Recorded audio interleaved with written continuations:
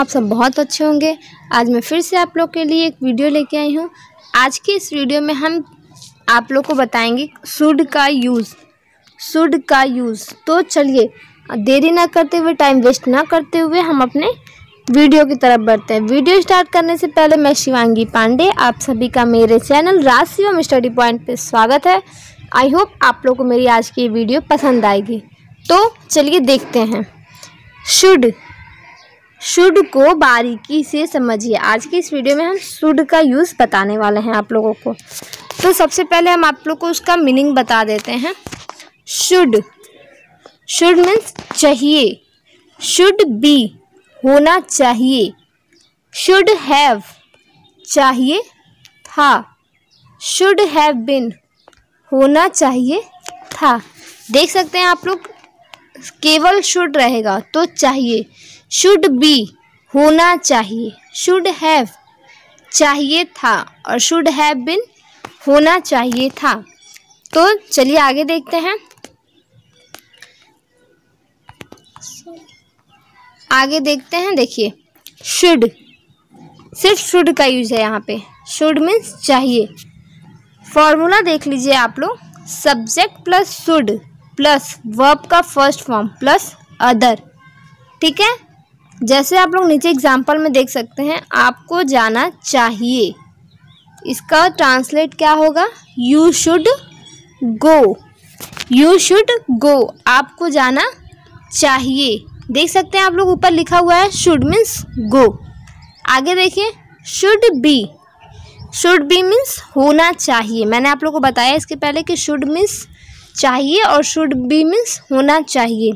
तो इसका फॉर्मूला है subject plus should be plus object ठीक है? देखिए एग्ज़ाम्पल देखिए। उसे घर पर होना चाहिए। उसे घर पर होना चाहिए। इसका ट्रांसलेट इंग्लिश ही शुड बी एट होम इसमें देखिए, यह एक नो एक्शन वर्ब टेंस है। यहाँ पे कोई कार्य नहीं हो रहा है। इसलिए इसमें वर्ब का कोई फॉर्म नहीं लग रहा है ओके आई होप आप लोग को समझ में आ रहा होगा मेरी बात। देखते हैं शुड हैव का यूज़ शुड हैव चाहिए था। शुड चाहिए। Should been sorry should have should be होना चाहिए। शुड हैव चाहिए था। अब इसका फॉर्मूला देखिए। शुड हैव का जब हम यूज़ करेंगे तो कौन सा फॉर्मूला लगाएँगे?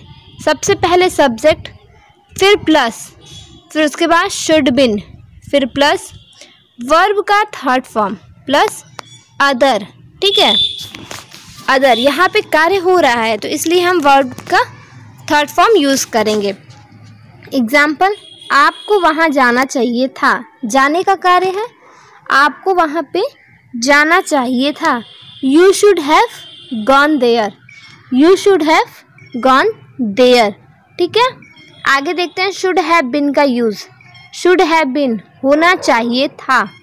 फॉर्मूला है subject plus should have been plus object should plus subject plus should have been plus object example देख लेते हैं। आपको एक डॉक्टर होना चाहिए था। वो बोल रहा है किसी पर्सन से कि आपको एक डॉक्टर होना चाहिए था। You should you should have a doctor you should have been a doctor okay आगे देखिए। देखिए, आगे तो मैं आप लोग को ये दिख, देखने में दिख रहा होगा कि ट्रांसलेट दिस मैंने आप लोग को इसके पीछे बताया कि आप लोगों को क्या करना है। सुड का यूज़ सुड बी का यूज़ सुड हैव का यूज़ सुड हैव बिन का यूज़ तो मैंने आप लोग को पीछे बताया, इसलिए मैं आप लोग को ये ट्रांसलेट दे रही हूँ। ये फोर ट्रांसलेट है।